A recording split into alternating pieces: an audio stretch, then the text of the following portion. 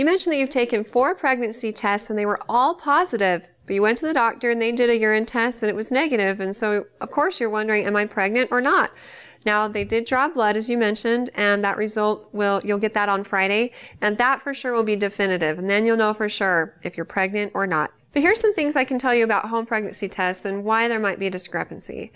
Um, home pregnancy tests are designed to detect a hormone called human chorionic gonadotropin, or HCG, which is um, secreted by your body early in pregnancy to support the pregnancy.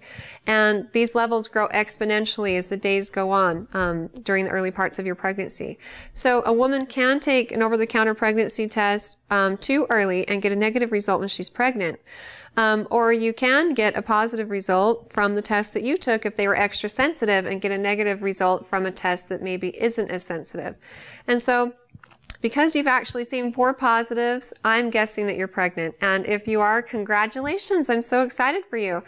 Um, but if the, the blood test comes back and is negative, then um, it's hard to explain those four fluke positive tests because generally speaking, a lot of women get negative results when they are pregnant, but not very many women get positives when they aren't. If the HCG is in your system and it detects that, then it comes out positive.